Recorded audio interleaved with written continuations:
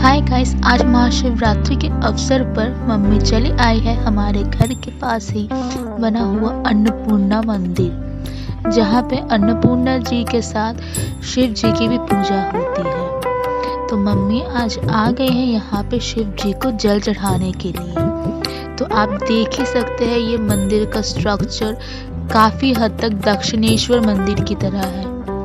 इसके पीछे भी बहुत बड़ी हिस्ट्री है, जो कि मैं कभी आपको बाद में बताऊँगी। तो चलिए देखिए यहाँ पे कितनी लंबी लाइन लगी है शिव जी को जल डालने के लिए।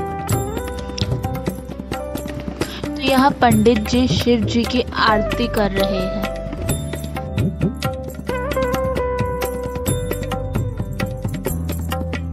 और पास में ही एक अच्छा सा पैंडल बना हुआ था शिव जी और माता पार्वती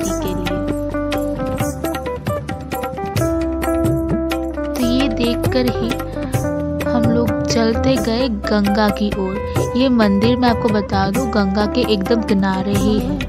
तो आपको यहाँ का जो दृश्य है, इतना मनोरम रहेगा इतनी शांति मिलेगी ना यहाँ पे। क्या बताऊँ इतने भीड़ में भी आपको बहुत ज़्यादा मन की शांति मिलेगी। तो यहाँ पे देखिए आप कितना अच्छा दृश्य है गंगा की। शाम को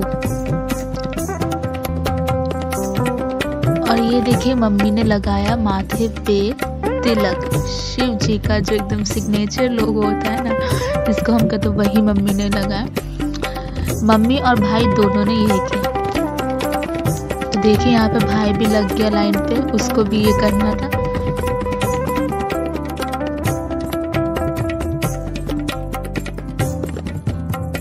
तिलक लगाने के बाद मम्मी चली गई गंगा घाट। वहाँ से एक डुबकी लगाई और ले लिया गंगा जल जो कि अब चढ़ाएँगे शिव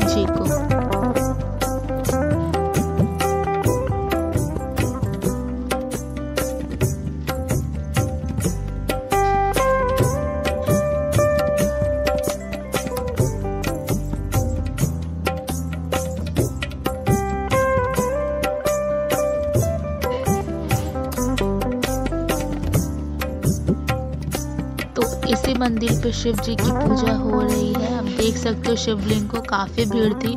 बहुत लंबे लाइन के बाद ही मम्मी को ये रंग मिला।